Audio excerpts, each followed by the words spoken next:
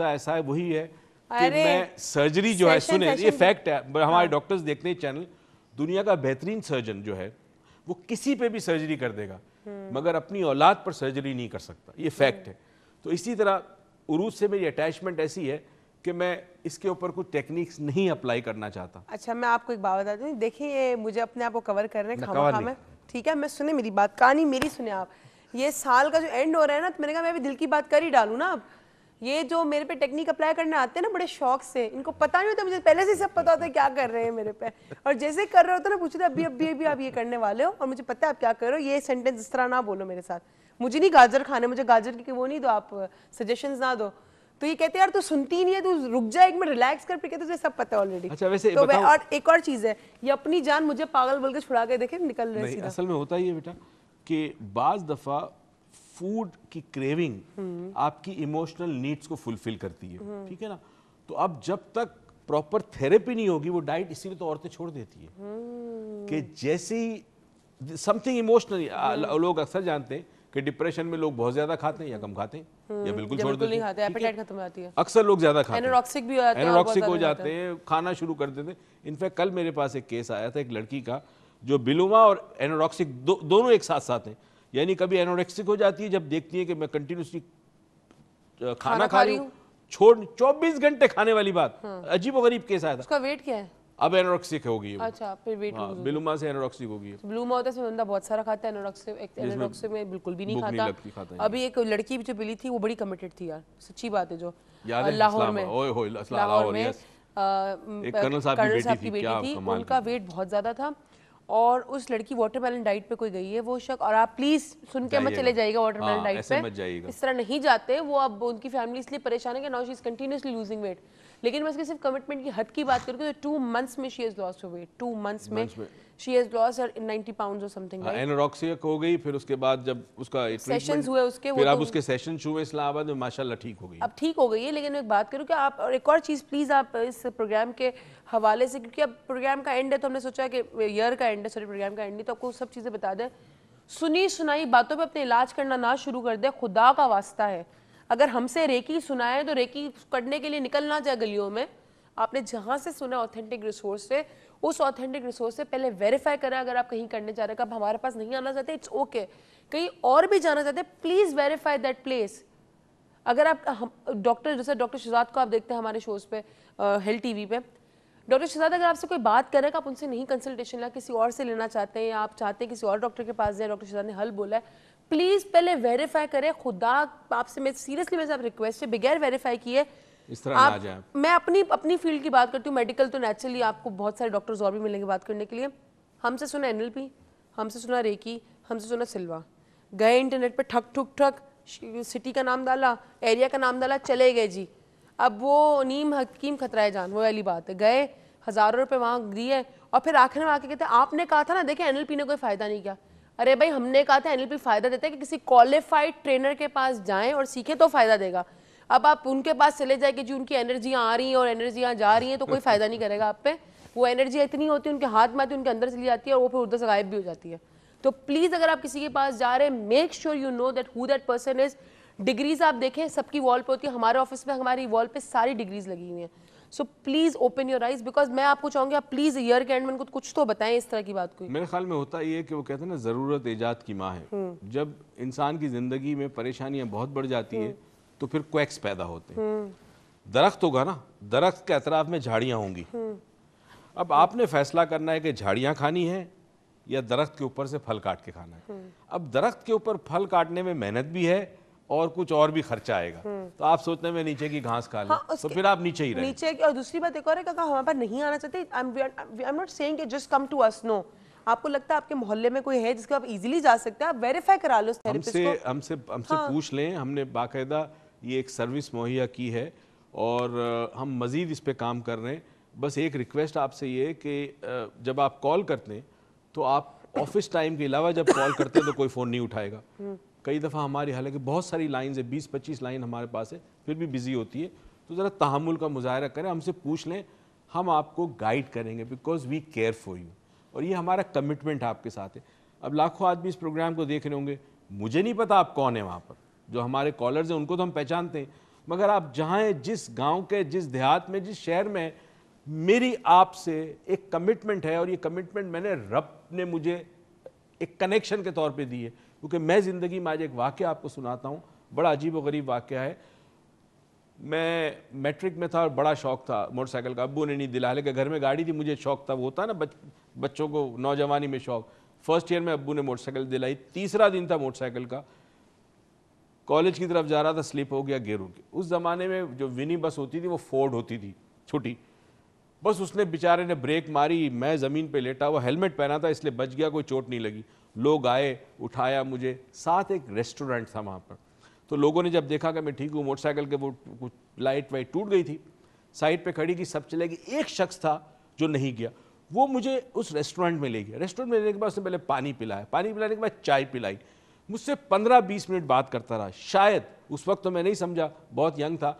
अब मैं समझता हूँ कि शायद वो चेक कर रहा हूँ कि कहीं मुझे अंदरूनी चौर पर तो कोई चोट नहीं आई।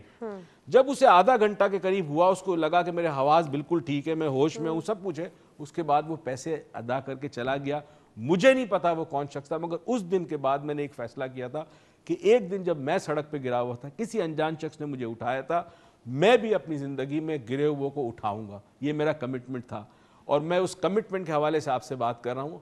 मैं आपको नहीं जानता, आप मुझे देख रहे हैं, मगर मेहरबानी करके इस कमिटमेंट को पूरा करने के लिए आप भी मेरा साथ दें। चले जी, आपको साथ तो देना पड़ेगा। कमिटमेंट एक तरफ़ से पूरा नहीं होता, एक एक पार्टी का सिर्फ़ कमिटमेंट करना ज़रूरी नहीं है। दोनों पार्टीज़ का होना बहुत ज़रूरी कमिटेड तो आप भी कमिटेड रहे, हम भी कमिटेड रहेंगे तो इनशाला हम आने वाले सालों में एक साथ रहेंगे। बहुत सारे कमिटमेंट जो आपने की, हमने की, हम पूरे करेंगे।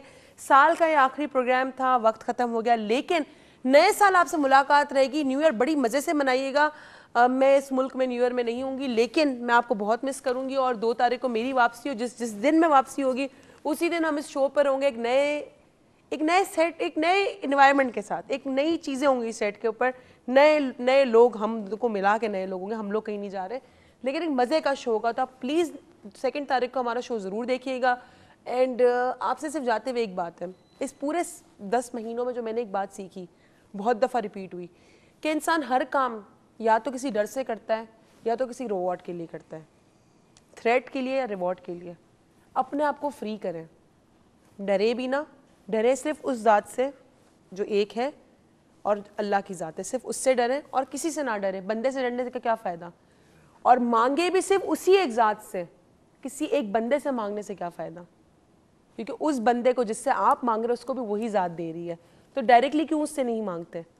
अपने आप को डर से, खौफ से और लालच से फ्री करें। खुदा से मांगे, खुदा देने वाला है। इन आपका आने वाला साल बहुत अच्छा गुजरा। आपको अल्लाह तोफ़ी करे, अपनी अपनी सारी रेजोल्यूशन पूरी कर सके। हमसे प्लीज़ टेक टच रहे स्टे इन टच रहिएगा। कोई प्रॉब्लम होती we are always there it is our commitment and we'll and we'll going to meet you next year so till then take care of self and over to you बहुत शुक्रिया अरूज और इससे पहले कि मैं एक कहानी आपके साथ शेयर करूँ, मैं, हमारे तमाम क्रिश्चियन भाई, बहन, बुज़ुर्ग, मसीह, बरदरी, उन सबको मेरी तरफ़ से हैप्पी न्यू ईयर एडवांस में कर रहा हूँ। क्योंकि मैं अब मुलाकात करूँगा सेकंड को तो सेकंड को तो न्यू ईयर हो चुका होगा। हमारे लिए तो खैर न्यू ईयर मुहर्रम होता है, मगर ज़ाहिर है हम सब साथ मिल के रहते हैं तो हमें एक दूसरे की खुशी में शरीक होना चाहिए।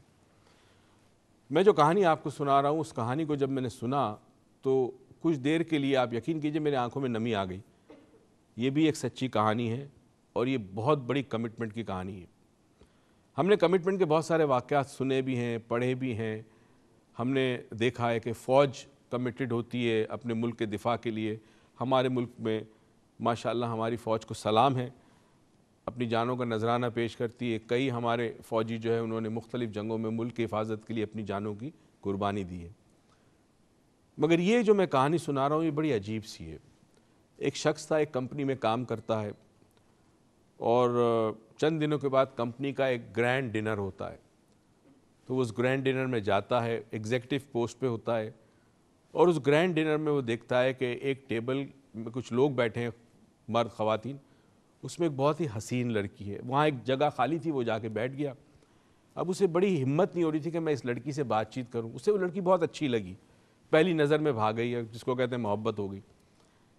खैर जी आ, खाने का वक्त आया। जब खाना वाना खा रहे थे वो तो उसने उस लड़की को कहा कि तुम माइंड ना करो तो चलो मेरे साथ कॉफ़ी पीने चलो।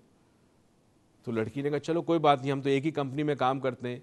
तो वो उस जगह से निकले साथ ही एक रेस्टोरेंट थी वहाँ दोनों बैठे। और उन्होंने कॉफ़ी ऑर्डर की।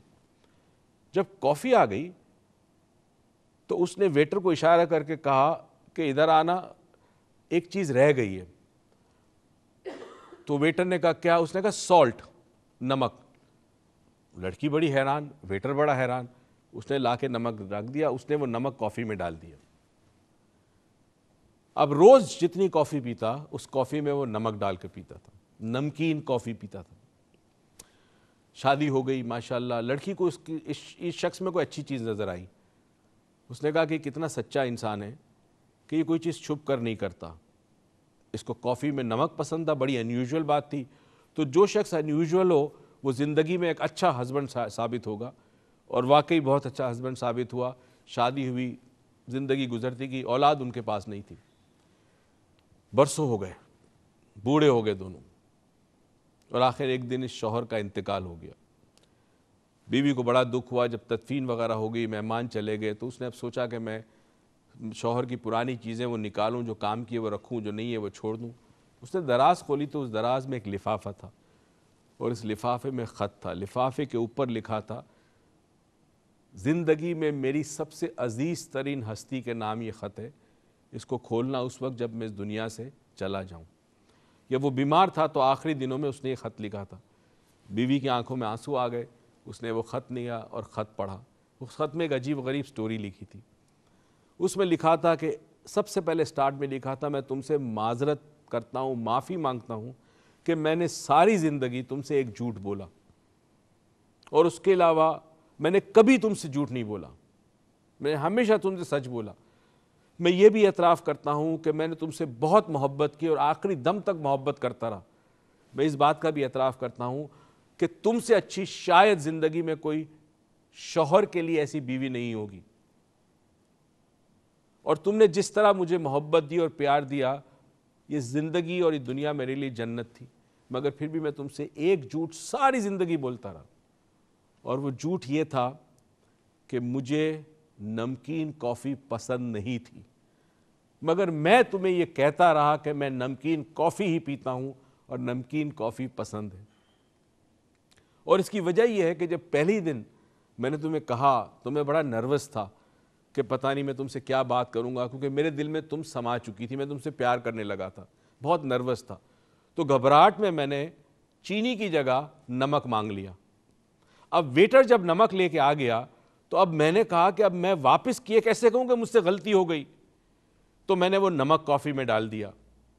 और मेरे नमक को कॉफ़ी में डाल के पीने से मैंने देखा कि तुम्हारे अंदर एक तब्दीली आई, तुम मेरे बारे में सोचने लगी।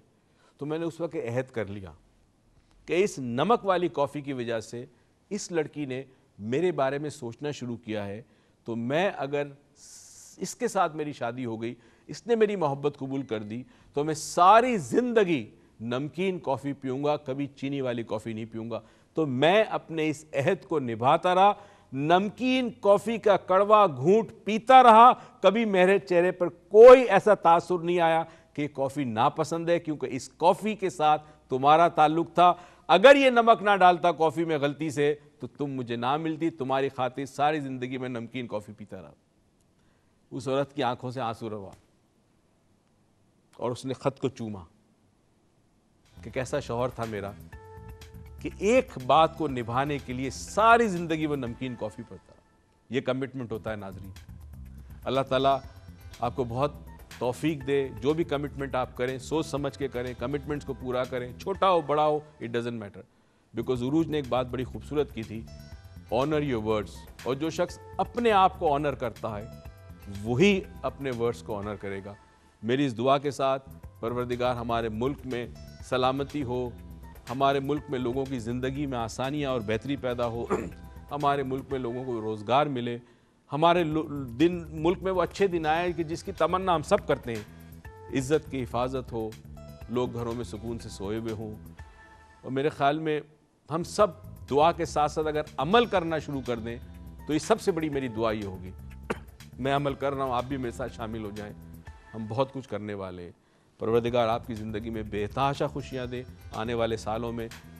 और ज़िंदगी के जितने साल आपके पास है, और ये तोफ़ीक आपको दे कि खुशियाँ आप दूसरों में बांटें। पाकिस्तान को याद रखिएगा, पाकिस्तान पाइंदाबाद